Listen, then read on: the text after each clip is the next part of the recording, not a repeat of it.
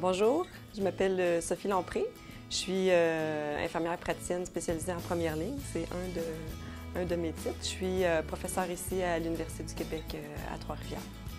Euh, j'ai commencé par faire un DEC en sciences de la santé. Après le DEC, il y a eu l'université, trois ans euh, d'université. Éventuellement, je suis retournée euh, à l'école pour faire un deuxième cycle, donc une maîtrise en sciences infirmières. Et par la suite, une spécialisation au niveau de la maîtrise en sciences infirmières pour obtenir finalement le poste, le, titre d'infirmière praticienne spécialisée en première ligne. Donc, après ma formation initiale, mon baccalauréat, j'ai travaillé euh, comme infirmière dans différents hôpitaux euh, de Montréal.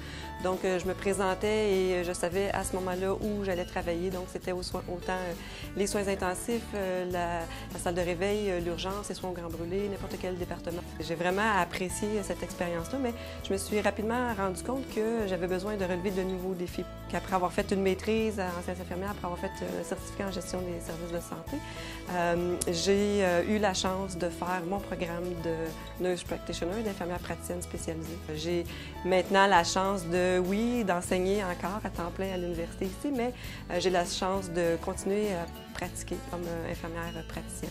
Donc, euh, une journée par semaine, je travaille dans une clinique.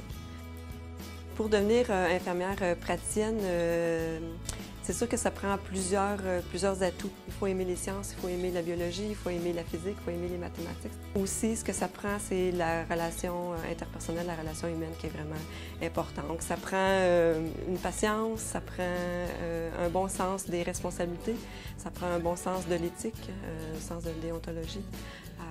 ça prend beaucoup de jugement clinique.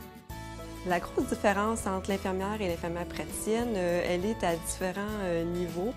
En plus de son travail comme infirmière, elle a certains volets qui relèvent des champs de pratique médicales, dont par exemple euh, prescrire des examens diagnostiques, des laboratoires, des radiographies, des échographies, euh, prescrire euh, de la médication, des traitements et aussi de faire certaines interventions aussi auprès du patient, drainer des abcès, faire des points de suture, donc des activités comme ça qui relèvent en principe de l'activité médicale. Le taux de placement des infirmières praticiennes est pratiquement de 100% En fait, euh, chaque infirmière praticienne qui est formée, qui réussit à passer à travers le programme de formation et qui a euh, sa diplomation euh, est assurée à 100% d'avoir un poste parce que les postes sont créés en fonction des infirmières formées. Alors, dans ma pratique, j'utilise quotidiennement les notions de biologie. Euh, souvent, les patients, quand ils se présentent, ils se présentent avec une raison de consultation. Il faut explorer qu'est-ce qui amène cette raison de consultation-là, qu'est-ce qui amène ces symptômes-là. Et euh, souvent, on va y aller avec euh, une prise de sang, par exemple dans une formule sanguine, où est-ce qu'on voit par exemple les, globules blancs. Bon, les globules blancs peuvent être euh, augmentés dans les cas d'infection. On peut voir les globules rouges, ils peuvent être diminués dans les cas d'anémie. On peut regarder aussi euh, l'hématocrite. L'hématocrite, c'est euh, le pourcentage de globules rouges à l'intérieur du sang.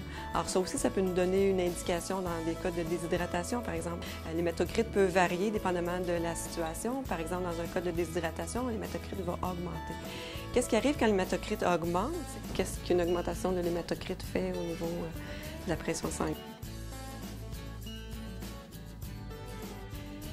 J'ai euh, régulièrement des téléphones d'étudiantes qui me demandent qu'est-ce que ça prend pour devenir infirmière praticienne, c'est quoi le chemin pour devenir infirmière praticienne. Et euh, je leur explique que le chemin est long et ardu. C'est sûr que ça prend des bonnes notes, ça prend beaucoup de travail, euh, c'est exigeant, c'est de mettre sa vie entre parenthèses pendant un certain temps. Donc oui, c'est beaucoup de travail, mais euh, l'investissement vaut la peine parce que c'est une pratique qui est vraiment stimulante, emballante et intéressante.